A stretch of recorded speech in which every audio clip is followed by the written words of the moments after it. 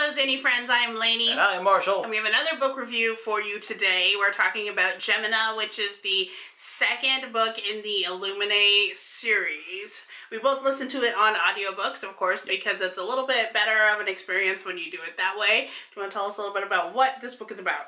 Gemina is kind of the follow-up, kind of at the same time as Illuminae.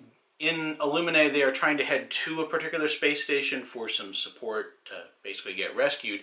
This follows the story of that space station while that's all going on, as the company that tried to kill the colony is now trying to kill the space station. At the same time, a whole bunch of other weird stuff's going on. I felt like this book was very interesting the way they told the story, and mm-hmm. especially how the end of the second book kind of turned out. It was hard for me sometimes though because of I was listening while I was working. I feel like a lot of times I had to be like, wait, what? Hey, wait, go back. Wait, how how did that? What?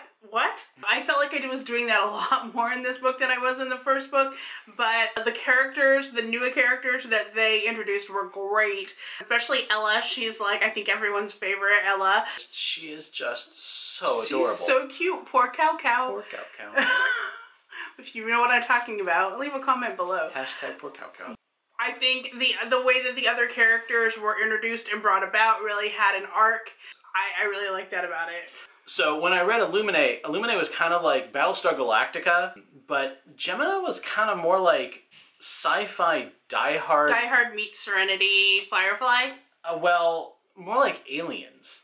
Um. As there is these these critters that are living there, and that just makes things a little icky. Right. I I got a very big Firefly Serenity vibe off this yeah. book though too because of just like you know them running them trying to figure it out it was I, I just thought it was a lot more the two main yeah. characters can definitely give you I actually like the main characters in this book better than I like the ones in the last I did too yeah I said that this was a four star I can see why some people did not enjoy this much as as much as the other book but I I, I still enjoyed it it was still well written I feel. I gave it four stars as well. Yeah, I thought it was. I thought it was a good, solid book. I really can't wait to finish Obsidio. I'm going to start that up like right now, yeah. um, so that I can get through that this month, and then we'll be done with the series. Yay!